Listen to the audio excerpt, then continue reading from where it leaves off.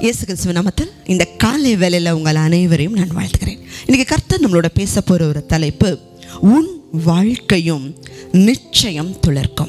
வசனத்தை வாசிக்கலாம். எஸ்ஐயவன் புஸ்தகம் ஐம்பத்தி எட்டாம் அதிகாரம் எட்டாவது வசனம். அப்பொழுது விடியற்கால வெளுப்பை போல உன் வெளிச்சம் எழும்பி உன் சுக்க வாழ்வு சீக்கிரத்தில் துளித்து உன் நீதி உனக்கு முன்னாலே செல்லும். கர்த்தருடைய மகிமை உன்னை பின்னாலே காக்கும். உன் சுக வாழ்வு சீக்கிரத்தில் துளிர்க்கும்னு கர்த்தர் சொல்கிறார் ஆனால் எல்லாருடைய வாழ்க்கையுமே துளிர்க்குதா அப்படின்னு சொன்னால் இல்லை.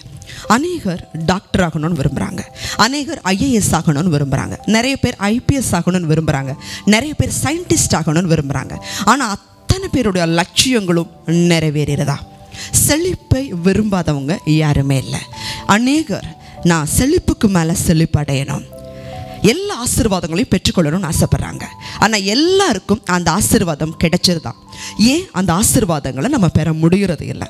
பரிசுத்த வேதாகமம் சொல்லுது உன் வாழ்வு சீக்கிரத்தில் துளிர்க்கும்னு சொல்லுது. ஆனால் எங்களுடைய வாழ்க்கையில் ஏன் ஒரு செழிப்பு இல்லைன்னு சொல்லி காத்திருக்கீங்களா?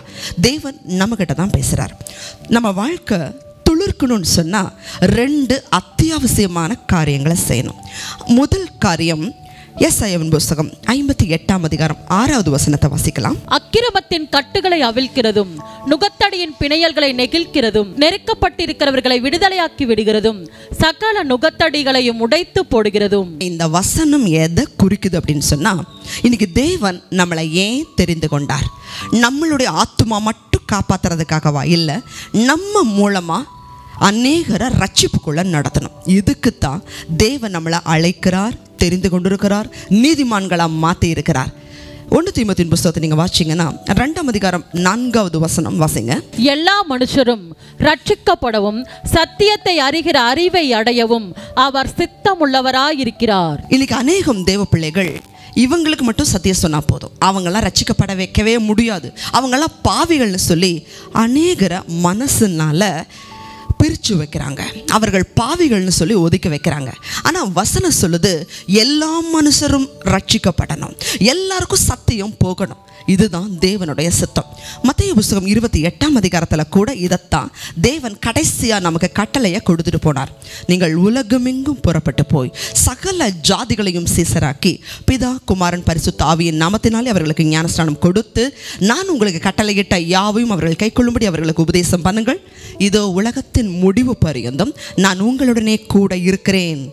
தேவஜனமே. இதுதான் தேவன் நமக்கு கொடுத்த பிரதான கட்டளை. நாம பரிசுத்தமாக இருக்கணும். நம்ம மூலமாக ஒரு கூட்டத்தை தேவனுக்காக ஆதாயப்படுத்தணும். ஊழியக்காரருடைய சுகத்தை தேவன் விரும்புகிறவர். அவர்களை ஆசிர்வதிக்கிறவர். ரெண்டாவது இன்னொரு முக்கியமான காரியம். முதலாவது நம்ம சுவிசேஷத்தை அறிவிக்கணும்.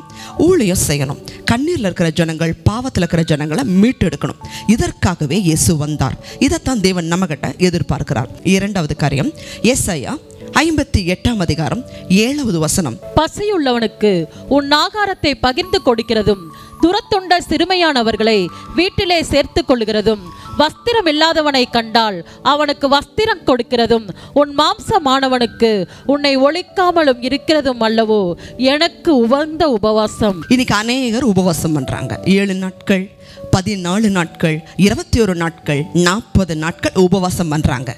நல்லது தான் ஆனால் அந்த உபவாசத்தில் நம்ம என்ன செய்கிறோம் நம்ம ஜெபிக்கிறோம். நம்ம ஒரு வேளை உணவை குறைக்கிறோம் அல்லது ரெண்டு வேளை உணவுகளை குறைக்கிறோம். சரி இது தேவனுக்கு பிரியமா? நாம் ஆகாரம் புசிக்காம முக வாடலாக இருந்து கொண்டு துக்கிக்கிறது நல்லது தான் உபவாசம் பண்ணுகிறது நல்லதுதான். ஆனால் அதை விட தேவன் எதை பிரியமான உபவாசமாக பார்க்குறாராம்? பசியுள்ளவனுக்கு உன் ஆகாரத்தை பகிர்ந்து கொடுக்கறதும் வஸ்திரம் இல்லாதவனை கண்டா வஸ்திரம் கொடுக்கறதும் துரத்துண்ட சிறுமையானவர்களை வீட்டில் சேர்த்து கொள்கிறதும் அதற்கு பிறகு உன் மாம்சமானவனுக்கு உன்னை ஒழிக்காமலும் இருக்கிறதும் அல்லவோ? எனக்கு உகந்த உபவாசம். தேவஜனமே ஆண்டவருடைய பிரதான கட்டளை முதல்ல நீ கர்த்தரை நேசிக்கணும். ரெண்டாவது உன்னை நேசிக்கிறது போல மற்றவர்களையும் நேசிக்கணும். இந்த ரெண்டு காரியங்களை நம்ம செய்யும் பொழுது முதலாவது நீங்கள் ஆண்டவருடைய வார்த்தையை உங்களால் என்ன ஊழியம் முடியுமோ நீங்கள் செய்யுங்க பாட தெரியுமா? பாடுங்க. வசனத்தை வாசிக்க தெரியுமா? மற்றவங்களுக்கு படிக்க தெரியாதவங்களுக்கு நீங்கள் வாசித்து காட்டலாம். அல்லது ஊழியக்காரர்களுக்கு நான் வேலை செய்கிறேங்க என்னால் போய் செய்ய முடியல. உங்கள் பொருளாதாரத்தின் மூலமாக தாங்கலாம். ஆனாலும் உங்களை நண்பர்களுக்கு உறவினர்களுக்காவது தேவன் உங்களுக்கு செய்த நன்மைகளை சாட்சியாக அறிவிக்கலாம். தேவஜனமே.